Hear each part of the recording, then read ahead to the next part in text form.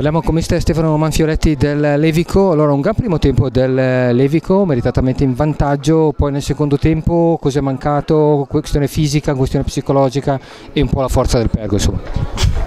Soprattutto la forza della squadra avversaria credo che abbia inciso sulla partita.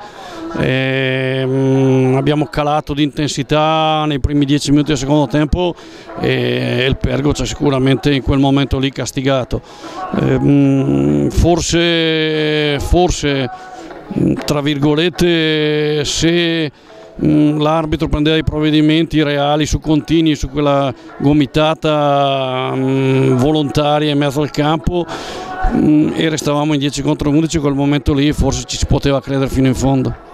Eh, eh, rimane però il buon campionato del Levico insomma, che a metà classifica tranquillo direi un, un inizio positivo della sua squadra di questo torneo ma sì, credo che anche oggi abbiamo fatto la prestazione, abbiamo fatto bene, ehm, credo che in questo inizio campionato abbiamo anche espresso un buon gioco, per cui sono contento da questo punto di vista perché i ragazzi ci credono in ogni momento. Pronto per il derby? Bisogna.